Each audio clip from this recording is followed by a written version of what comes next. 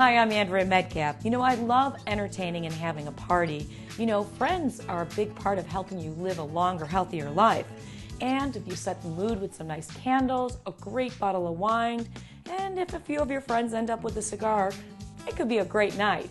But that evening when you're cleaning up and there's spilled candle wax or you've gotten some red wine on your white blouse, let me show you how to take away those stains, take away the wax, and take away the odor.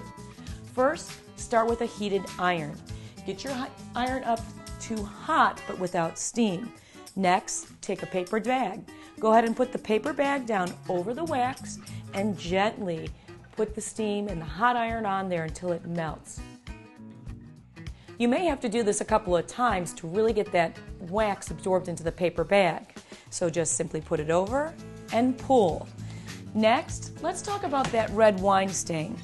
Stains on clothes need to be dealt with while they're still wet, and a cold water rinse is the best way to start.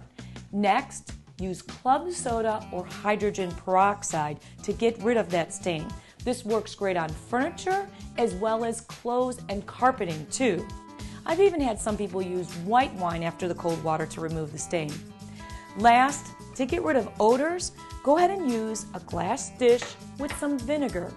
This will help eliminate fruit flies, smoke smell, and any odors in the air. Remember, when you're entertaining, you've got to clean up, and it makes it a lot easier if you know the secret steps.